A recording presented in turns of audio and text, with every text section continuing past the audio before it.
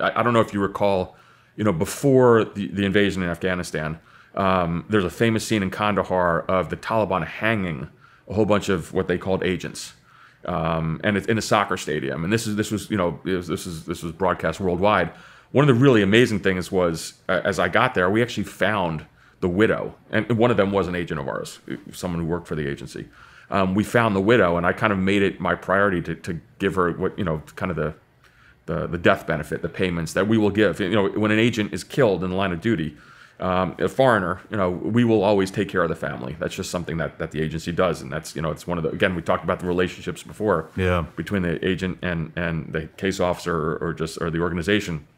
Um, so I tracked her down, and, and this wasn't a kind of a sexy operation. It wasn't written about anywhere, but I got some money that the agent was was owed, owed, and and I went into some dingy little you know you know mud hut mm-hmm. in uh, in Kandahar city um, I couldn't talk to the the wife directly because it was you know Afghanistan such a traditional culture, and so you know it, it's it literally was like like a, like a curtain hang between us, and she of course is is fully covered. Um, and I made some kind of silly speech, which I thought was kind of you know very very relevant um, about his sacrifice because it, it, was all over you know every every media outlet in the entire planet that this person had been executed. Um, and we gave the we gave the payment, and that was something that was really important.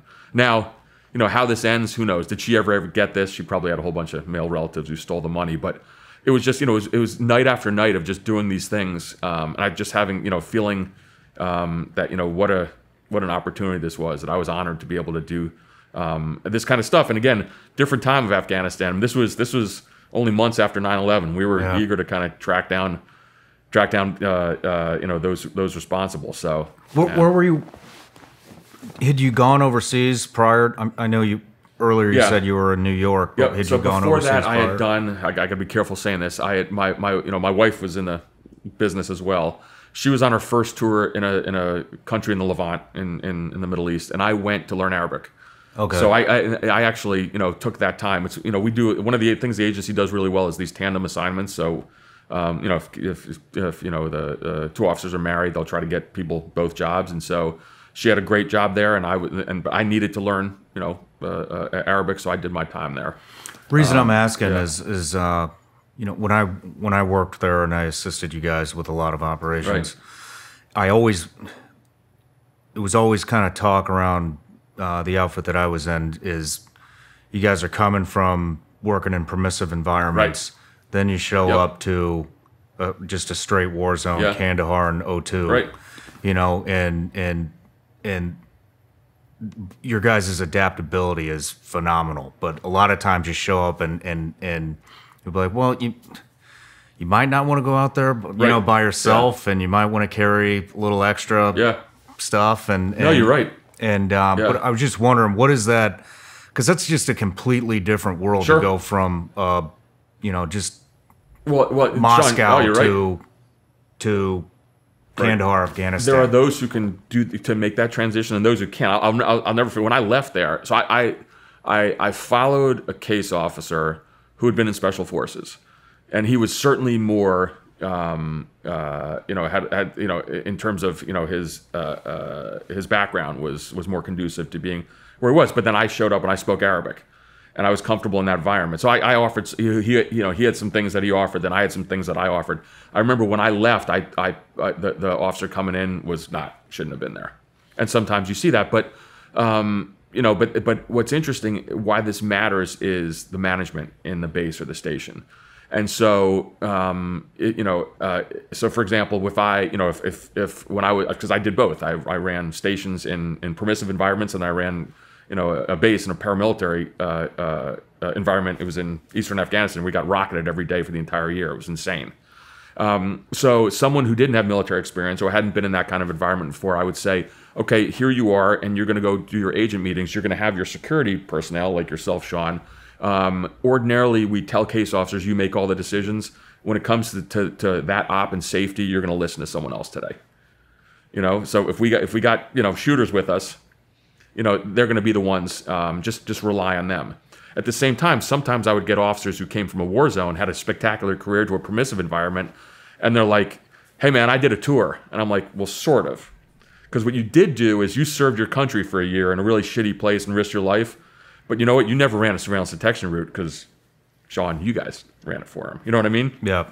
And so, it, and, and so you got to be able to adapt, and, and you know the case officer has to have some humility. One of the things I worked really well with your old outfit um, uh, because number one, um, I, I respected with you know what you all brought to the table in a tremendous fashion, but it was also you know I was I was like okay if you know if if the hair starts you know going up in the back of your neck. Um, get us out of this. I'm not going to question that. I might have an agent meeting. This agent might have information we desperately need. But if Shawn, if you come to me and said, Marc, we got to get out of here, we're getting out of here.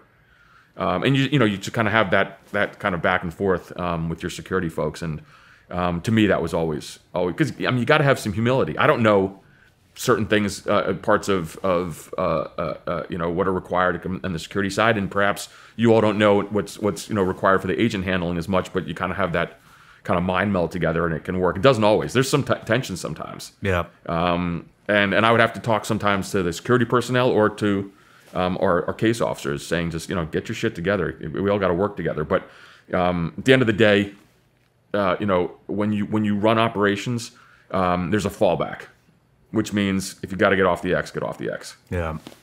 And because you know there's no, you can't you can't you know bullets bullets gonna come at you and can't turn that around. Yeah.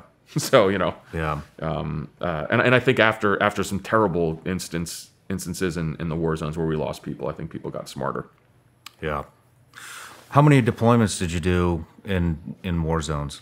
So I did. Uh, I got to be careful on saying this. So it was it was you know uh, probably almost three years altogether, um, off and on. It was but it was a solid year. 2011 2012, I was chief in eastern Afghanistan in Paktika, Paktika province. Um, uh, and then before that, it was my time in Afghanistan, then half a year in Iraq, and then some other places I can't always talk about. Um, but it. it was it was it was enough where I became really comfortable in that environment.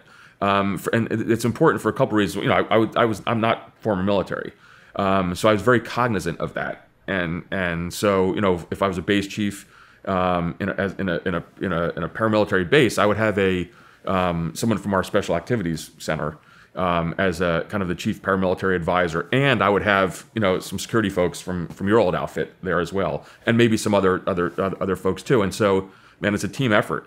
And so, you know, if, if we're taking incoming rocket fire, um, and we have the ability uh, and and the authority to return fire, I'm going to rely on people who know how to do that.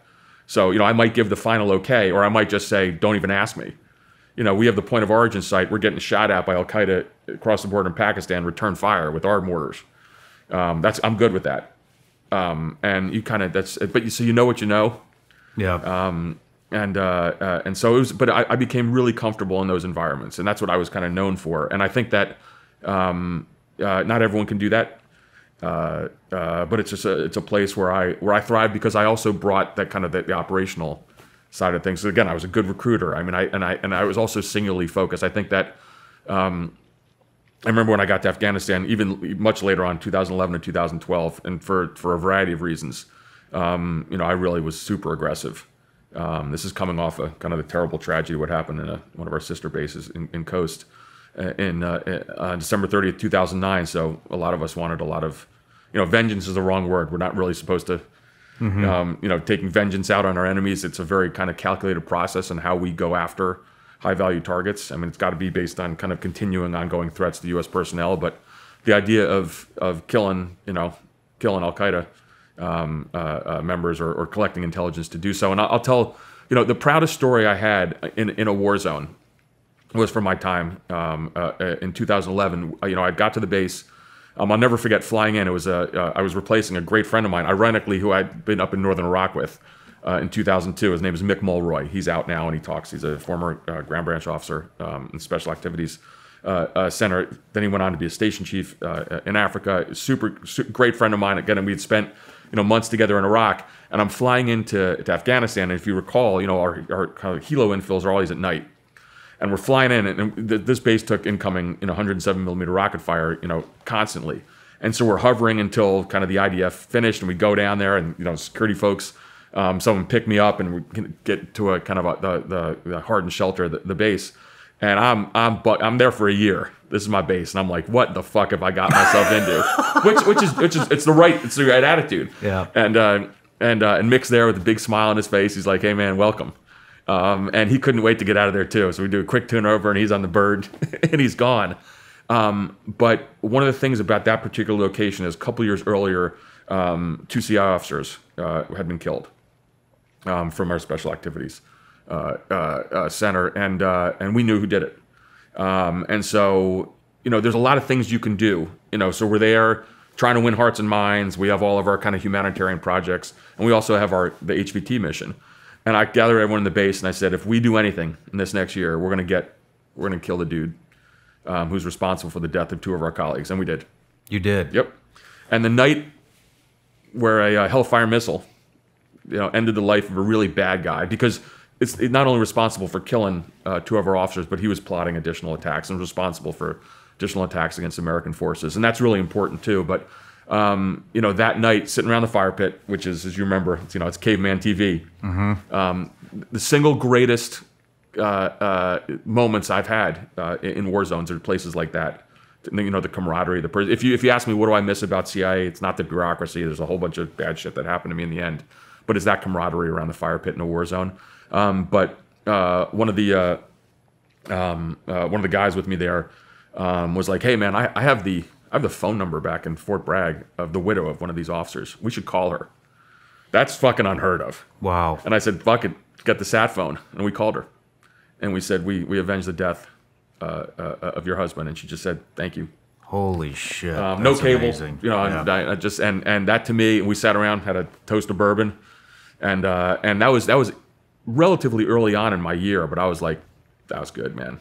Hey everybody, I'm Shawn Ryan. Click here to subscribe to the Shawn Ryan Show YouTube channel for the hottest and most compelling interviews that you will not see anywhere else. I've also made a playlist of all the previous SRS episodes so they're easy to find. You can find that right here.